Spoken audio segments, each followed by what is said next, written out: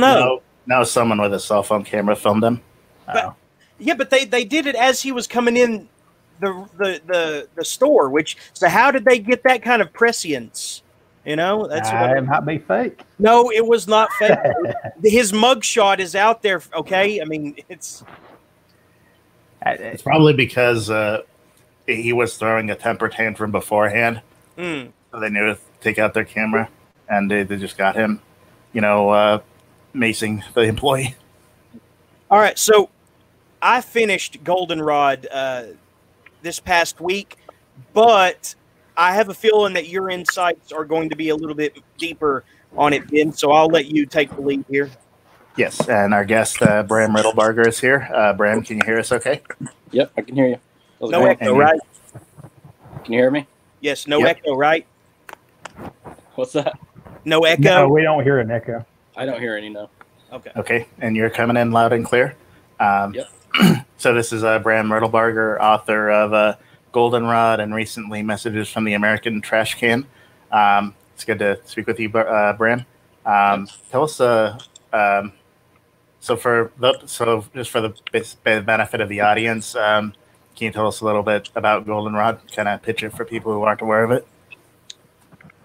Um, it's a man with a certain predicament uh, that pretty much goes insane and decides to, like many people, uh, somewhat go back to nature, but he's joins a bunch of other equally deranged people and uh, hmm, they have some adventures in the woods and try to live off the land and fail. and it doesn't end well. Yeah, that's actually a good summary, but it's um, a lot more exciting than it sounds because there's a lot of um, a lot of like very interesting and funny moments. Like um, I don't know if it's a spoiler to say this, but Goldenrod refers to the fact that the main character has a severely jaundiced penis. He is an alcoholic, isn't he? Yeah, I'm pretty sure. He's a teaholic. Teaholic. He drinks a lot of tea. Yeah, yeah, that's right. See, I, I, I, would pick this book up and then I would set it aside and then pick it up again later. So I, I kind of was inconsistent in reading it, but I happened to finish it up. Uh, the characters were interesting. You know, they, they, they were a unique bunch. Uh, I mean, I could I could go into detail about it, uh, but maybe it would be probably be better if you you or Ben did. So, for those who haven't read it, you know, who may want to, the wood Yeah, well- sprites, for instance. I mean, What's that? the wood sprites, for instance, right? Oh, yeah, the fairies. Yeah. I don't know where I came up with that one. Uh, they were kind of a later thought process in the group. Uh, I just needed like a, you know, the Greek chorus. They were kind of the Greek chorus. A lot of that book uh, Yeah, has a lot of like Plato's theory, allegory of the cave, The cave, and yeah. I needed some of that kind of thing. The Greek chorus needed to be there somewhere, I guess. yeah, There's a, lot of um, that. There's a lot of that in the book. yeah, and like um, Merle Haggard is in the book, but he's always off to the side, like playing the soundtrack to the uh, to the book. Right, he's, he's sort of just a uh, omniscient, om, omnipresent voice or something occasionally. Like uh, Sam Elliott in The Big Lebowski, kind of. yeah, That's how it kind of reminded me of. Uh, i- am I wrong? Am I misremember? Am I remembering this wrong? But there's uh, the dog character Sid, right? But there's also the ghost of Sid, and and are, Yeah. are and they appear at different times, both of them, right? Well, uh, no, the ghost of Sid disappears every time the real Sid's around. No, but what is that? Is that then- because the afterlife is non-linear time, or what? I never understood that. I think it's that Jack is an unreliable, you know, an unreliable. He's not the narrator, but he's Okay. sort of an unreliable character because you don't know whether what he's doing is real or not. Uh-huh. And the end, uh, the spoiler time, I guess, like some of it at the end, like isn't real, although some of it is. So uh, it's sort of like a, a you know, imaginary world. Things Yeah, don't could- necessarily have to be linear, I guess. Although Yeah, they I- are living in a linear time, and you know, but the characters are not necessarily reliable. yeah, I just kind of took for granted that uh, everything was happening within the uh, the universe of the uh, of the book. Um, I do, uh, but you know, it makes sense uh, considering you know the character's not really stable, and neither are the any of the people he meets. Right. He also meets the revolutionary, who's sort of like the one of the main characters, and uh, and when Jack goes to the asylum, Sid, the real Sid, runs away and joins the revolutionary, and so he kind of becomes his dog because he likes it better because he lived a miserable life with the main character Jack. So is this uh, your first so novel, Bram? when Jack, what's that? Oh, sorry. Go on. Can you hear me? Yeah. So when Jack gets out and finds the revolutionary, he still still sort of believes that he has the dog, and he doesn't really understand that the real Sid is now the revolutionaries and not his.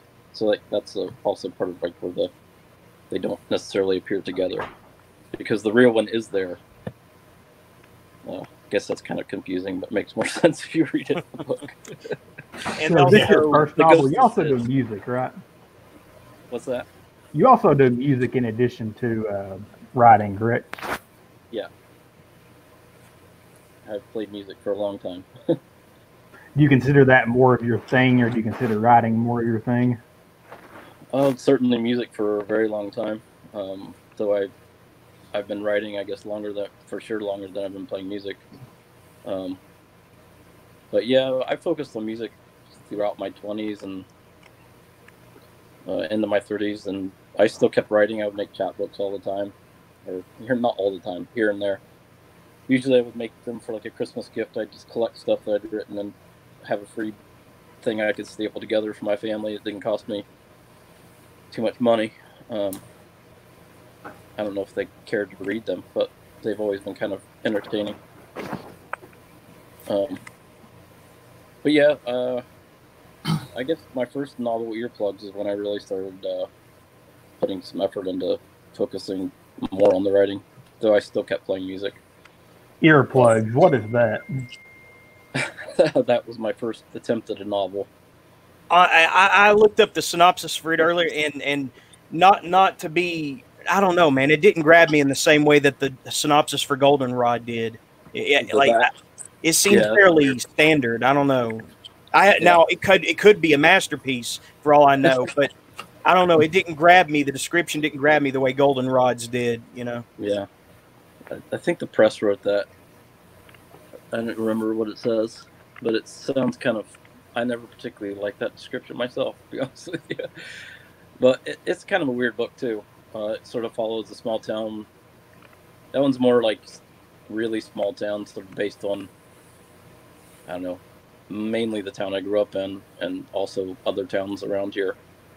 Wait, Uh, Jeremy, what's wrong with that description? Ohio. That description's cool. it it just seems uh, mediocre compared to what we get in Goldenrod with the silent Ethiopian, the wood fairies. Uh, let's see, the the revolutionary, a hippie girl, uh, a dog, and the ghost of the dog. I mean, compared Wait. all that, Okay, this says in this novel, a quest for earplugs tries its best to defy old age, young of and a young love, and the burden of change. well, you what know, more this- could you possibly want?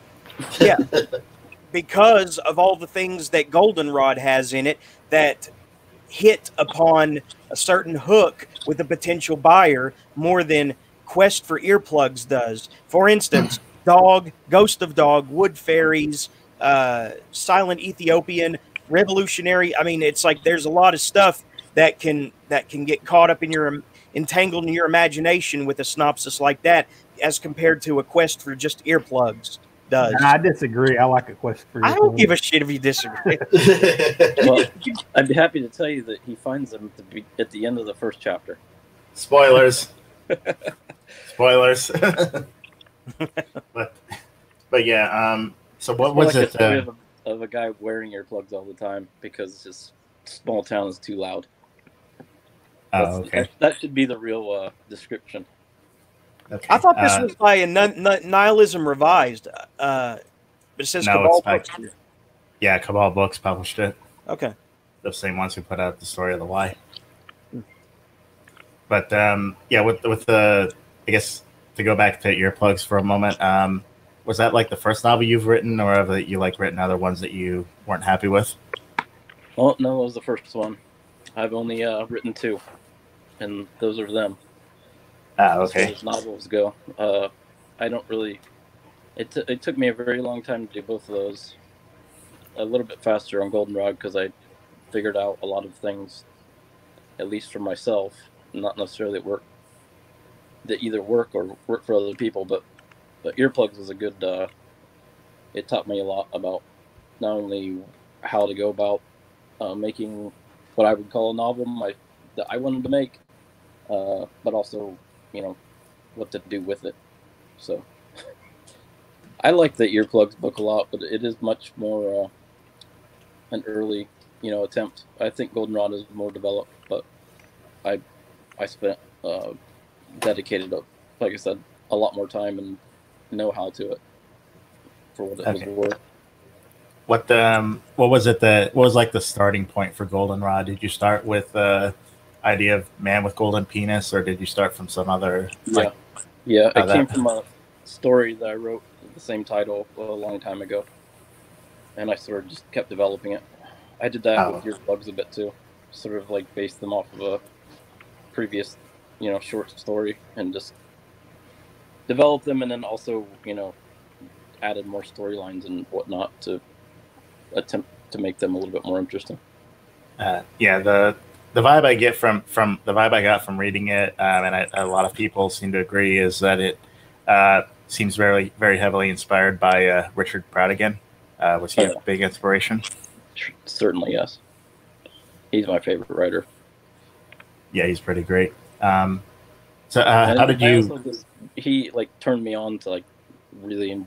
I don't know. I guess I've I've been a reader my all, my all my life, but I started reading him in my teens. Uh, my mom had his books, like as a, a sort of ex hippie. You know, they were on the bookshelf along with lots of other things, hmm. and uh, I just love. I love poetry, probably more than you know anything, and yeah. he's just a good. Uh, Jeremy doesn't like poetry. He's, he's a poet making. You know, he was a poet making books, in my opinion. I, similes, metaphors, I've always just enjoyed. I, I like Brautigan's prose, but I, I despise poetry inherently. Like I feel like it's it's I feel like it uh, ruins the potential of good stories uh, when it is transferred to the poetry medium instead of the fiction medium. Uh, because I feel like the fictional medium is where stories go to retire and that's where they should be. They sh- that's where they should be. I just feel poetry is too flighty, too flaky, and I've I've I've been in at too many public readings where these little girls, you know, do the sing-songy poetry, like "You're always there to hold me when I'm upset." You know, they always do yeah. that. There's always three or four girls in a in a reader readers crowd that do the sing songy poetry bullshit. Oh, if you think that's bad, try slam like, poetry. It's freaking never should have been invented. There's a lot of bad like, stuff out there. like they tell me this isn't great. It's so nice to wake up in the morning all alone and not have to tell somebody you love them when you don't love them anymore. That's that's great. That's beautiful. That's yeah. Uh, love poem, probably his uh, most famous poem. Yeah, that's great. I love that one. I like his poetry as well, uh, but I like poetry too. It's like more simple and you know, like his and many other people. But I don't know. They always are trying to tell you something else, oftentimes as well. Yeah, or maybe just, uh, just telling you like how hard life can be, or maybe how great it can be. Yeah, Brautigan is great, and another one of my favorites who um, kind of had a similar style is uh, Stephen Crane. Oh yeah, I love Crane. Yeah, me too. Red Badge of Courage, I think, is one of the great American books. Yeah, I think that's a that's a great book. But my favorite book from his is his uh, poetry book, Black Riders and Other Lines. I like that one a lot too. I just reread that actually. I don't know, a couple years ago. Had yeah, I, uh, for probably ten or fifteen years. I, I, I read one of the poems at my grandpa's funeral. I mean, that's that's how much it you know impacted me.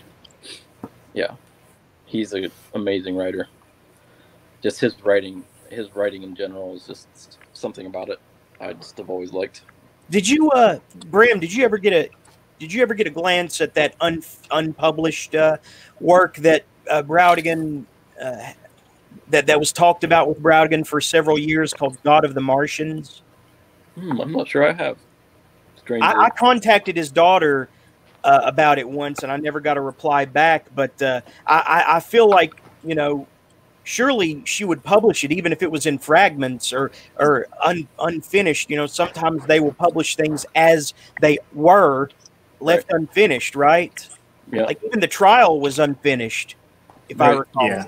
Believe it or not. actually- they put out you know some of his stuff posthumously that was you know I thought not not necessarily the best quality, but I like reading his stuff no matter what, so I I read it. But uh, Yeah, I, I, just haven't feel heard like. of that. I, actually, maybe I've heard of that, but I've I, I've never read any of it.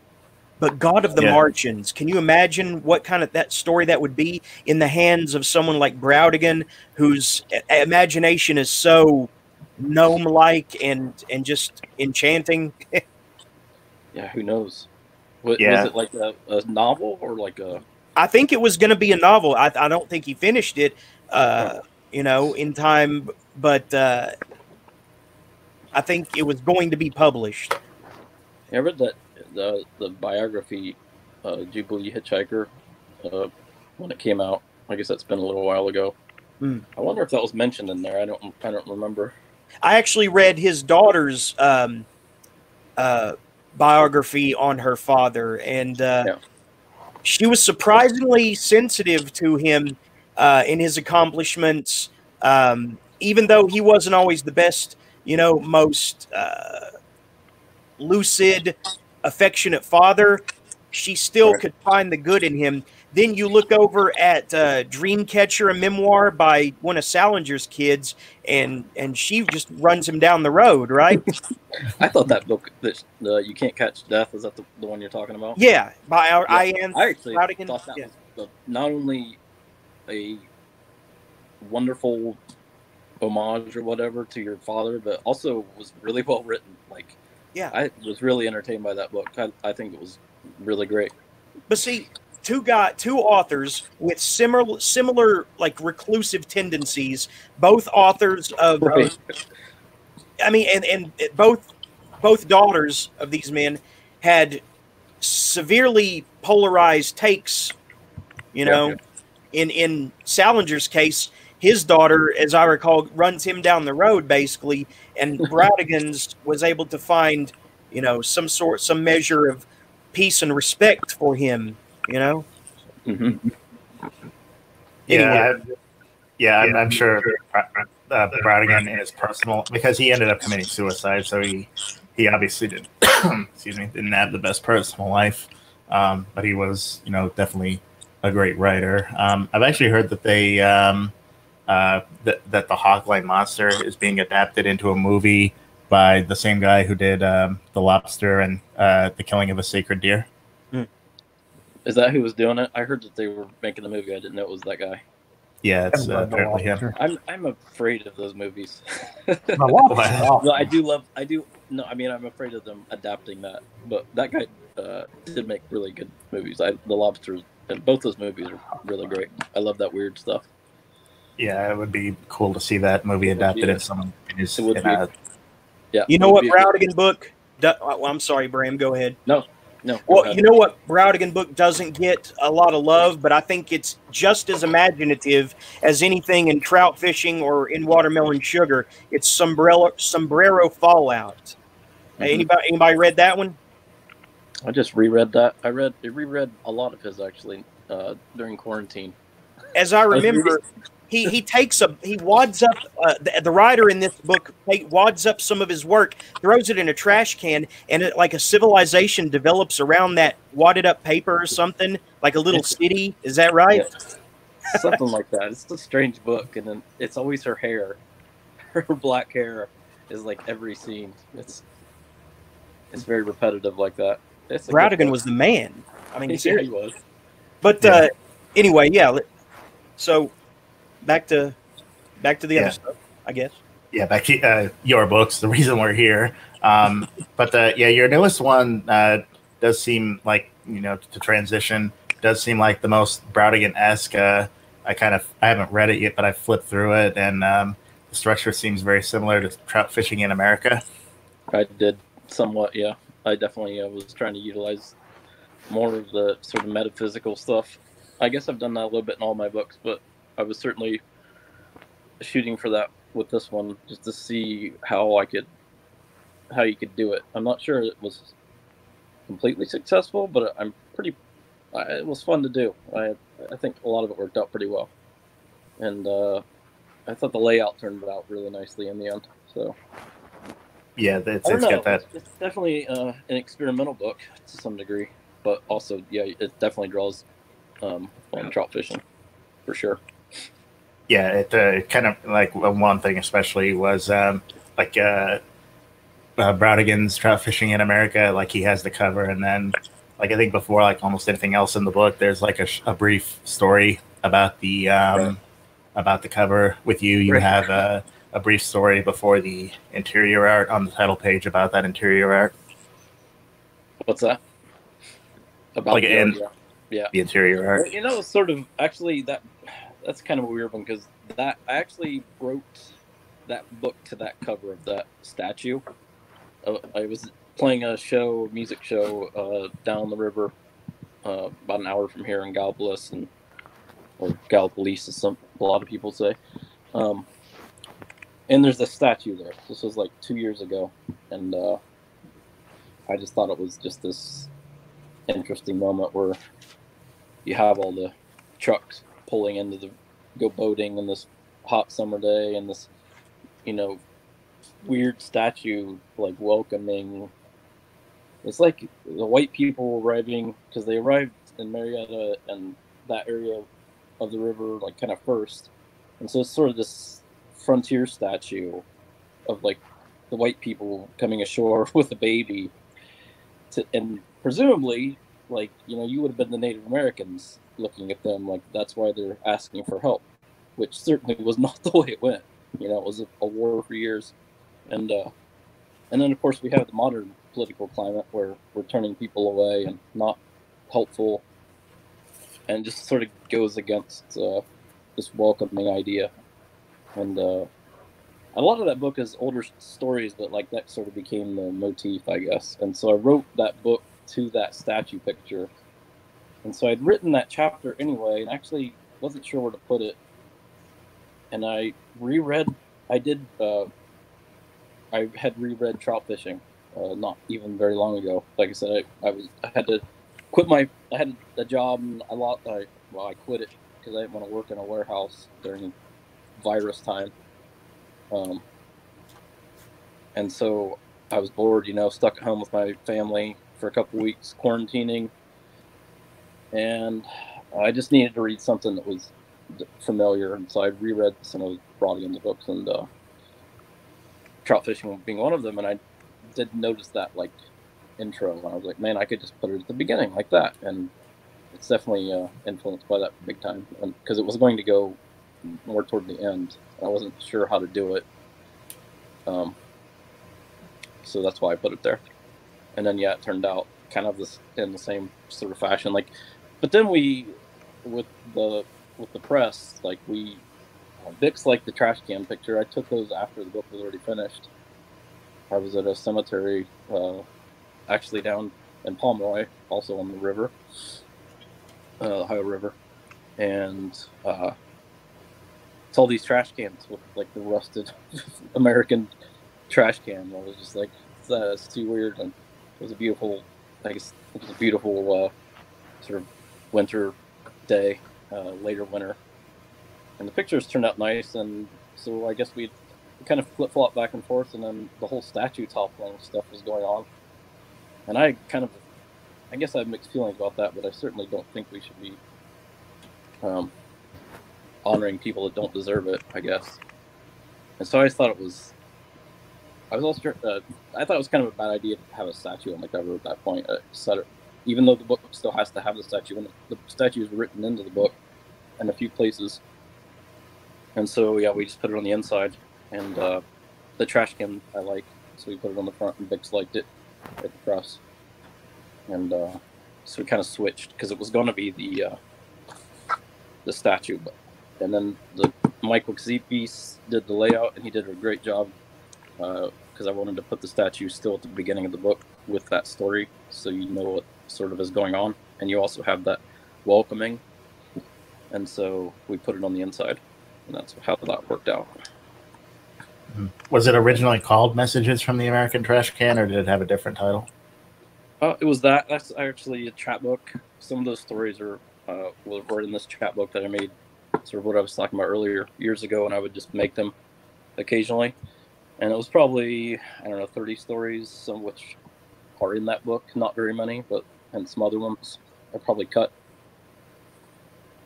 Um, ah. over 100 stories from that manuscript over the course of narrowing it down to what it became. There were a whole bunch of them in there and so I just took. I'd always liked that title, and uh, I had actually been working on a, a, sequel to that called "Messages from the American Trash Can 2, or that was the early name. And I had this whole idea. It was all going to be illustrated. Like every story had an illustration, and I actually got pretty far into it.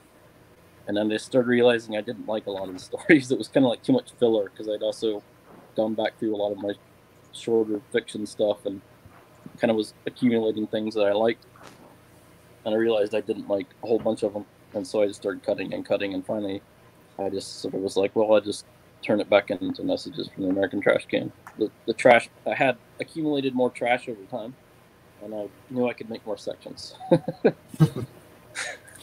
yeah, that's uh, so. Yeah, that's uh, that uh, that uh, does seem like to be an important part of it. Is uh, just you know going through and finding everything you've written that isn't um, that you don't consider trash. Uh, I have the kind of the same problem with uh, you know the Weight Idiot's Guide to Saying Goodbye. Like uh, you know, going through a bunch of stories I originally wanted to include, and I was like, oh wait, I can't include this because it's shit.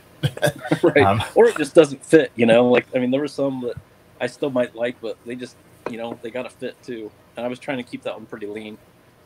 Yeah. So I I kept cutting and cutting and cutting even when I didn't want to, and then I yeah. sort of made sure to limit myself by Oh, geez, I actually forget. I think there's like eight or nine in between each piece of trash story. How do you let go of things that you don't want to cut? That, that's something I don't. Uh, I yeah, can't. Very difficult sometimes. yeah, who was it that said? Uh, who was it that said "kill your babies"? Right. Kill your darlings. Or oh, your darlings. That's what it was. Your babies. I think that's very important. It's the hard thing to do but it yeah. always makes it better. Almost always, in my opinion, it, it almost yeah, it always does. makes it more lean. Yeah. I know people who like will keep things that they've been working on since they were teenagers and keep piddling with it. And I, have never had that mentality. I always just like cut things and like start new. I, I really don't get why some people like keep trying to like resuscitate really dead projects. Right. Hey, I mean, check it out. Fine uh, keep stuff, but Phoenix know. in the chat bought uh, poem 3 a.m. Oh, sweet. Thank you. All right. Yeah, that's, Watermelon that Sugar. Uh, that's a good one. Yeah, that's definitely a great book. Uh, yeah, I, I kind of forgot about the poem 3 a.m. Uh, that you did with uh, Nihilism Revised. Yeah, that cool was actually cover. one of those like weird. Uh, that wasn't really a chapbook, but it was. I made it. It was in slightly different form, but that's an was an older one um, that I always liked because it was sort of a, interesting story definitely be influenced, but it was uh, experimental, experimental weird cantos or whatever. yeah, so nihilism revised definitely uh, seemed like a good place for that. Um, I was going to ask, how did you? Uh, yeah, how did you uh, come across uh, uh, Cabal books? Or because I know that for you were the first, you were actually the first Cabal book. Um, yeah how did you come in contact with uh, Bix to get that released? Uh, well, I guess after earplugs, like I said, I learned a lot about, uh, well, editing. That book took a lot of editing and and rejection, and uh, I finally found a home with that, uh, with uh, Livingston Press. Joe Taylor is a really good guy, the editor uh, of that, and uh, so I guess I learned a whole bunch about trying to find things. And I was also, I don't know, I was always, I guess, I was more focused on music for so long. I didn't pay that much attention even to like how to deal with publishing, even in the small time world, but um, or the small press world. I guess it's the same thing, maybe. Um, so I, I don't know, social media. You know, I just uh, I was always looking for things that were interesting and people that I thought would be receptive, and also that would were doing things similar or I thought maybe similar to what I like to do. Um, which is obviously I don't know if that's very difficult all the time. Trying to wade through the waters, social media at least for me it is. Yeah, yeah, I kind of stumbled across them by uh, Thick and Veiny by accident. And, yeah, you know that's why I sent the story of the why. Yeah, I like that book a lot. Yeah, thanks. Um, I really appreciate the. I think yeah, I think you gave me a blurb for it, and I do appreciate that. Um, but um, yeah, I think I saw Bix like at a festival or something, and I, his name came up, and I looked up his press, and we just sort of connected, and I sent him. Uh, I guess Goldenrod was pretty well formed at that point, so it was probably the, that text pretty much. It went through a little bit of editing for sure. Have you ever thought about doing like a hybrid thing with music and writing? Oh, I don't know. I kind of think of them as two as this pendulum that I often swing back and forth on. I'm often on one side or the other. I don't know. Also, and doing both at the same time. I don't know. Yeah, like I don't know, like maybe have, have... I've written the lyrics for my band, so I guess I just see it as another form of writing. You know. Yeah, I guess lyrics go. I mean, I, I, guess like one possible thing is like putting together like a soundtrack for your book or something. Like obviously, like Goldenrod, you, you explicitly state in the book, uh, no Merle Haggard as a soundtrack, but right. you know, or something like uh, having someone like read, you know, your poetry or, or some of your prose or something like that, you know, over some of your music. That's a good idea. I haven't really ever thought about it to be honest with you. I guess I thought about uh, slightly differently, but I, yeah, you don't usually think of them like maybe one's a refuge, refuge from the other or something. I don't know. yeah, I mean, when I think about like combining like uh, music and and writing, I think about the collaboration that uh, Ben Folds and Nick Hornby did. Oh yeah, I don't know that. the one of the they have a funny song called "Working Day." Uh, one of the lyrics of that song is "Some guy on the net thinks I suck, and he should know he has his own blog." but it, it is a great song. It's it's like about anyone who's in that creative field, the kind of you know doubts they feel, like imposter syndrome and things like that. I don't know. I'll have to think about it. Do you ever have problems with that, like imposter syndrome, and feeling like you know what you do is what everything you do is shit? oh yeah, I mean, I haven't met anyone who does like creative work that uh, doesn't feel like that, with the exception of a couple people who are just complete narcissistic douchebags. I mean, my hundreds of thousands of sales every week tell me differently, but I just can't believe it. yeah, it's just like, a, oh Christ, how are they all going to react when they realize I'm a fraud? I'm not sure that it matters very much. You know, it's not like. Uh, yeah, you know, I mean, how many, people, how many people are out there listening? yeah, nobody listens to us. You can say they listen later, later after it's uploaded for some reason.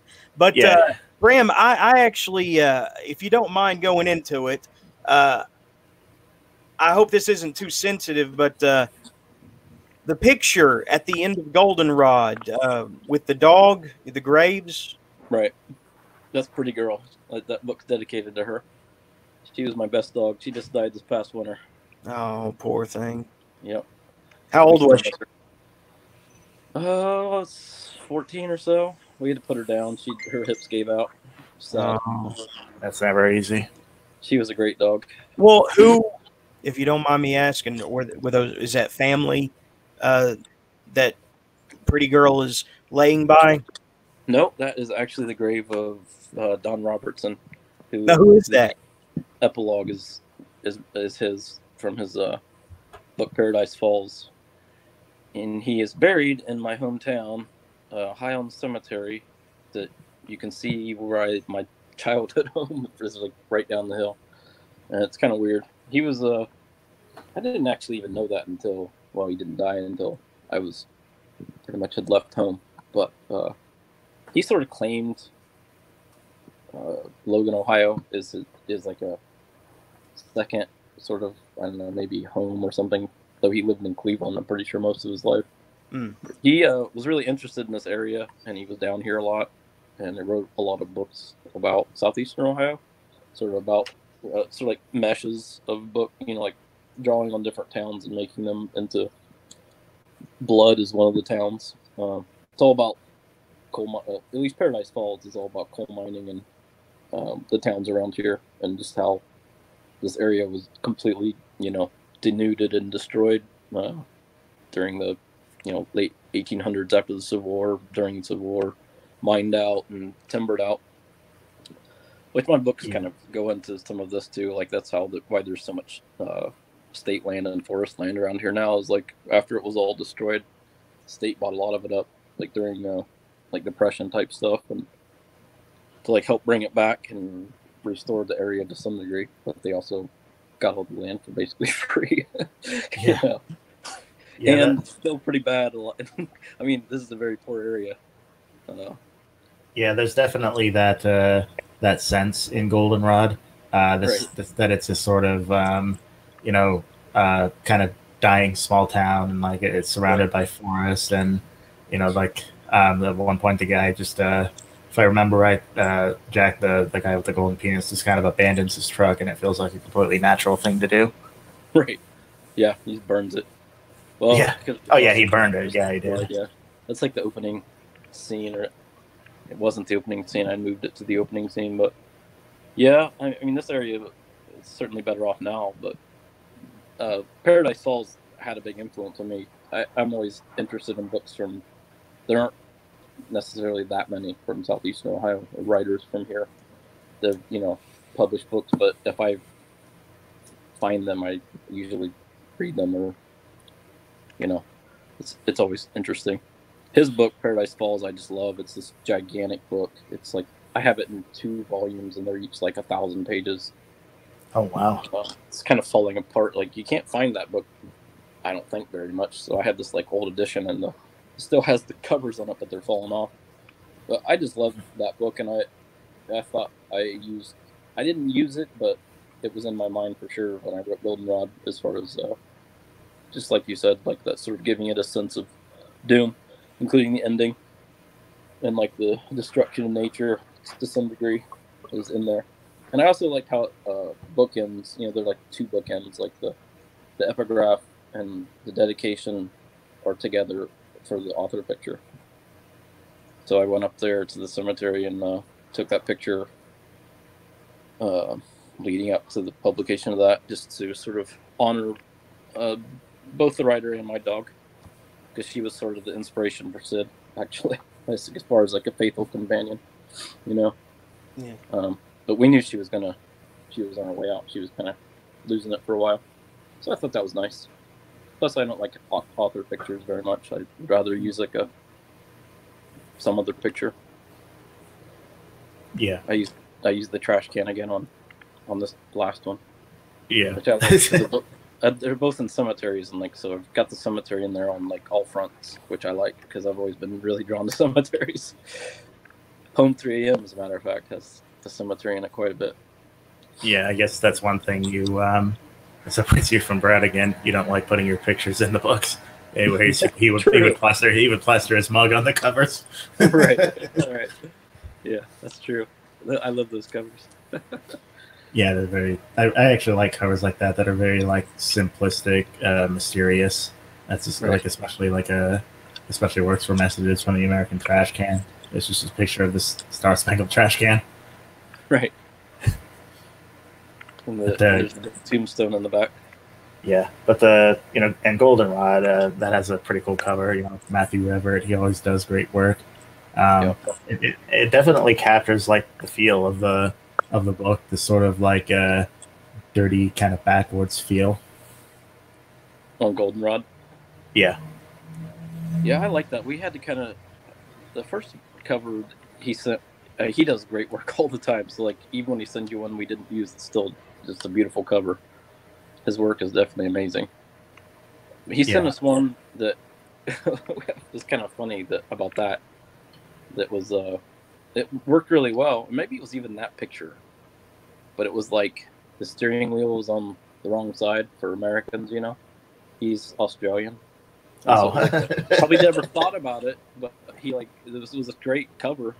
Um, or may, like I said, maybe it was that one in a slightly different form, and he we may have just reversed it, but it was like the steering wheel was on the wrong side, and it looked great. But I was just like, it can't be like a foreign car. It has to be like this book is about southeastern Ohio, and I'm just Yeah. particular about stuff like that. I was like, we gotta like make it at least like that. I don't think is an American car, but at least the steering wheel's on the right side. You know what I'm saying? yeah, I mean, it looks like it could be like a dilapidated, abandoned American car. Right? like you never know. Yeah, I don't know where he got that, but maybe that's why he had to smear all that uh, and all that uh, rot on it. that's possible. I don't know. He's great though. I love his stuff. yeah, definitely. I that Um, cover turned out really nice. yeah, uh, I really like what he did for the story of the lie too. Um, Yeah, I'm looking forward- sweet. yeah, I'm looking forward to see what he does for the uh, future Cabal books. Hey, Um, look, it's, it's the cover. yeah, just a Star Spangled Trash Can. Meigs County. That's your latest one. Yeah, Yeah, that just came out uh, this Fourth of July. Yep. I have another Oh. one coming up. s- Suddenly, Yeah. like a comet. It's weird having two in one month. Yeah, that one's uh, that one's called West West uh, West Erotica Ho or something like that. Western Erotica Ho. Oh, Uh, but that's a book of poetry. Yeah. Damn it. no, they're just Wait, they're just stories and poetry. form. Je- Jeremy be like, "Fuck poetry." All my homies hate poetry. it is a story though. It's like a travel log Oh, okay, like a of poems. I, I know one author that can pull that off. Um, Matthew something or other. I don't remember his last name, but uh, he he writes all these fantastical urban legends in like a, a fiction poetry hybrid, and he does it really well. But uh, Hmm. other than that, I don't know. But um, you what, know, like in a Dr. Seussian kind of way. no, what is his name? Matthew Bialer, Bi- Bialer, Bialer, I know what you're talking about. B I A L E R. Oh, was he did a lot of stuff Wonder- Wonder Press, Wheel. I think he wrote Wonder Wheel and uh, yeah, something about alien abduction, maybe a few other things. But he uh, he calls it epic poetry, I think. And uh, they he's all right, and Philip Lopresti's all right. But man, damn, I just I. I guess being in a ri- local writers group and hearing all the sing-songy, you know, uh, fre- college freshman girls uh, reading their love poetry, it just it did me in on that this stuff. I mean, But Jeremy, This it's one's gonna called. turn you around. This one's Jer- gonna change you. Change you. Yeah. forever. It's called Western Erotica, uh, Western Erotica Ho. So obviously you can masturbate to it. oh, But I don't uh, do that yeah, anymore. I'm really happy about that book. of That course book- you don't. That book has had a strange voyage. I wrote that. Uh, literally wrote it on vacation in this little tiny notebook that I just sort of died. You know, it was my, my literally my travel log, and uh, of course I you know finished it later and as far as like working on it, but uh, that one So- has had a strange history. It's like been under contract before once or I guess once, and then I had also talked to uh, Nihilism Revised about putting that one out at one point. And I don't know, it's I always just had this bad luck. It was literally going to be published and had a cover once, and then it fell through because the uh, press decided not to be a press, you know, and like so they just dropped everything and. And so I was kind of too bad because I actually really I like that one. I've written a lot of weird little poetry books, but that one I'm I've always been kind of proud of, just because I think it tells an interesting, just sort of snapshot story, you know, of like a weird little vacation trip. It's kind of nice in my opinion, and the cover turned out really great with that one. Uh, that was Yeah. with Trident Press, and it was really nice working with them on that. Over Yeah. the last year, I guess it's been about almost a year or something, but we kind of worked on it over the winter, and it just kind of turned out that it was going to come out uh, the same month uh, at the same time. It's kind of weird. but I think it's a good time because that's a summer book. You know, it's like a vacation book, and uh, Yeah, so I'm happy that's coming out. yeah. What's a that's a pretty eye-catching title. Um, well, how did you come up with that? I have no idea. I, I I came up with it on that trip. It was just like that was like the story of our journey, and that was just it. I probably wrote it in the notebook that I was carrying with me. It just seemed like the appropriate title. I don't know why. I I remember I shared. It. it And, uh, yeah, I remember I shared it, and someone in the comments said, "I guess uh, Western Hose was already taken." you know, it's funny. I was uh, I've been really busy lately, but I had a little bit of time today to get on the computer and um, do some like upgrading of you know of the bio and stuff on the, some sites just because of these books coming out. And so I tried to look. Uh, I've u- Trident Press is selling that through their website, so I usually just use their website. But I'd seen that Amazon had it, and so I tried to look up the number of the book on Amazon. So I just clicked in, you know, books, search that title, and it didn't have my book at all, but it had, as you can imagine, like all these lefty romances that had erotic in the title. There was like this like giant list, and I scrolled down for a while and was like, my book isn't even in here.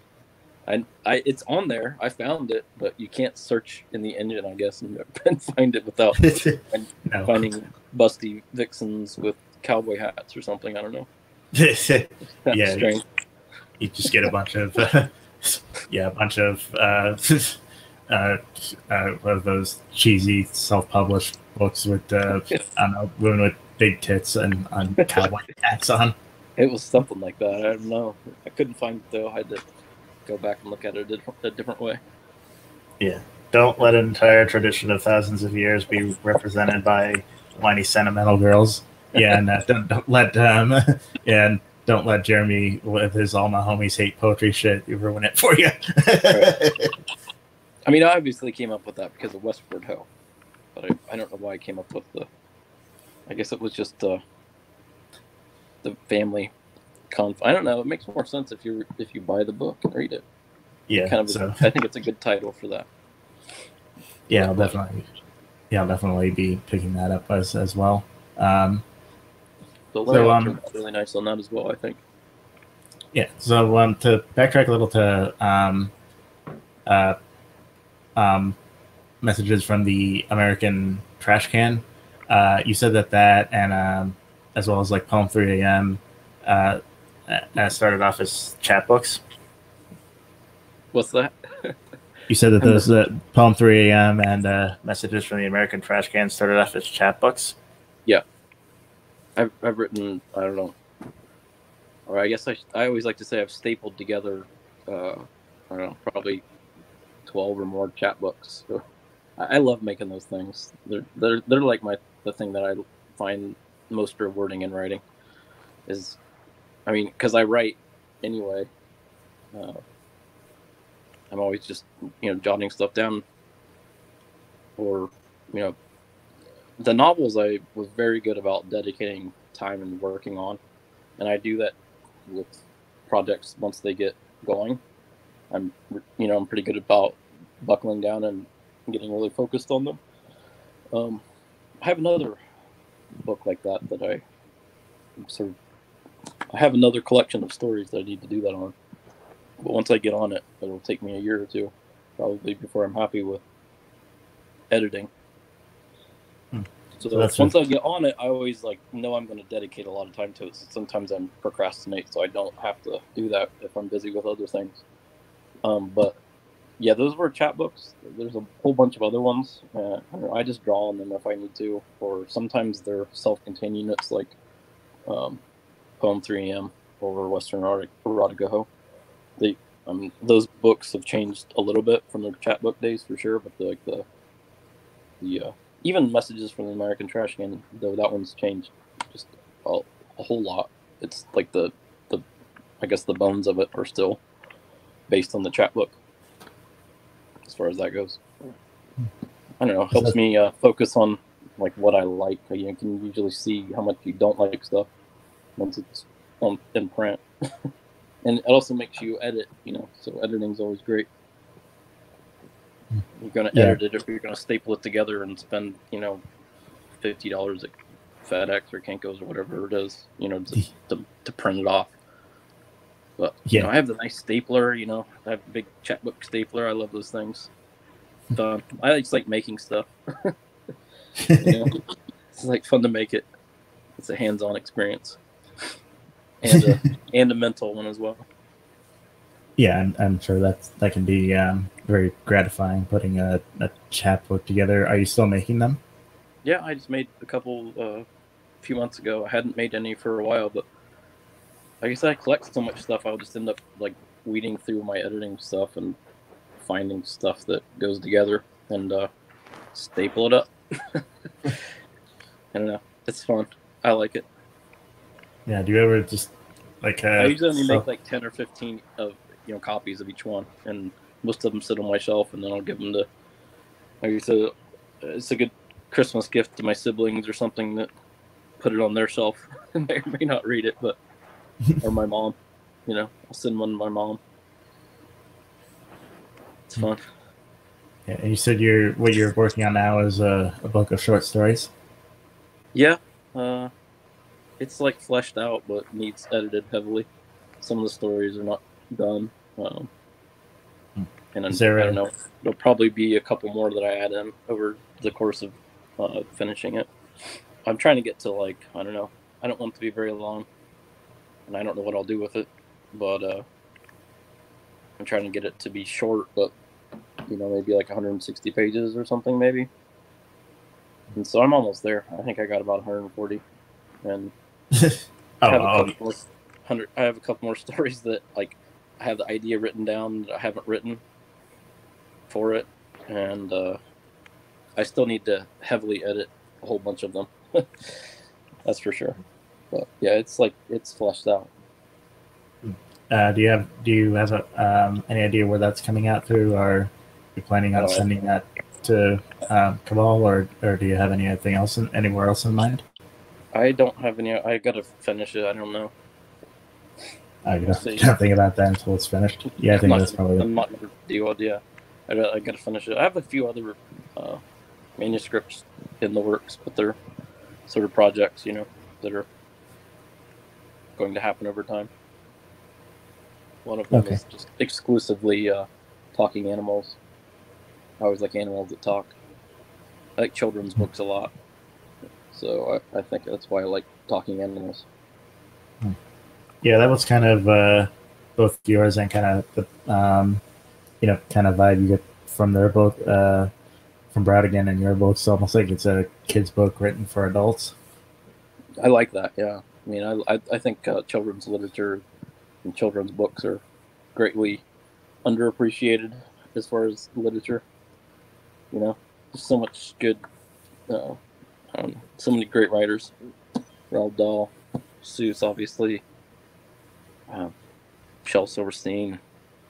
Yeah, I don't know. There's just uh, there's so many great children's writers. Like I, I couldn't, I don't even remember the names of half of them. But you just think of all the stuff you read as a kid that had a huge influence on you. Yeah. Some of it's still great if you read it now. yeah, definitely. Jeremy, have you read Shel Sil- Silverstein? Jeremy, Zach? Yeah, uh, Oh, a light we're in, alone. A light in the attic. Yeah, I did. that's good. Yeah, it is. Shel Silverstein is good poetry. Uh, I just don't like poetry, though. Wrong, wrong answer. Get out of here. I really don't. Okay.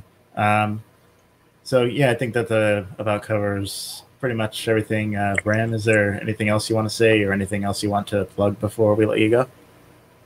Well, I can't think of anything. Okay, Good so uh, you guys. Yeah, so messages from the American Trash Can is available on Amazon or wherever books are sold. Available from Cabal Books. One more thing. Uh, oh, go ahead. one more thing, and uh, like I said, I would pick up goldenrod and then put it down again. So I was kind of in and out, you know, inconsistently, you know, before I finished it this past week. Can you explain a little more about what a loco locavore is without giving anything away? like major? Uh, well, it's technically someone that like tries to just eat local food, but uh, I sort of That makes sense. Train. You know, there's two kinds of locavore in my, in my book. Uh, there's the locavores. I mean, the, that's what the you know well, they're doing it because they're living in a cave, trying to survive. You know, by making it on their own and eating Mhm. from the land, which you know is like a big hippie motif, and people around here are still very much like that. There's a lot of that. You know, I grew up with that, and it usually doesn't end very well because you know right. But and it doesn't in that book. And so i sort of you know i guess i can't give everything away but there's like the you know like going back to children's books there's a monster at the end of this book which Yes. is, uh, grover says that i think. Yeah, I think because when you hear local lore, the first thing I, I think of is Crazy Eater. right.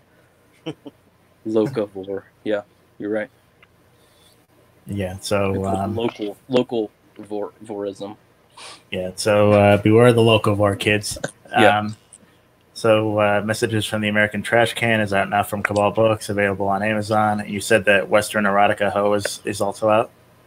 uh, it's up for pre-order it comes out the 28th i believe Okay, and that's up for pre-order, and uh, you can find uh, just uh, go to anywhere where you buy books, So that's uh, Amazon or any other or like Bookshop.org.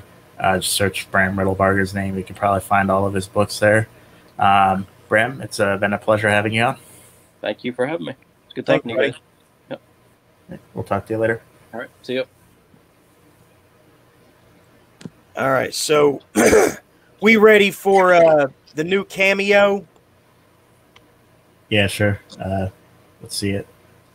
This better be good. Oh, you mean I waited till he was gone? it is it is good. It. it that she actually gives uh, a lot of encouragement to you guys. well, uh, Zach said he was getting getting another drink. I'm gonna grab it one really quick. So Yes. fill the dead air, but until I get back. Yes. By the way, did I mention? Oh, I can hear my. I can. I can hear my. Hear myself. Why did you do this to me? You did this on purpose. I'm echoing back. Okay, that now now I'm better. Okay. That wasn't me. I, I pulled my headphones out, but it's it's never done that before.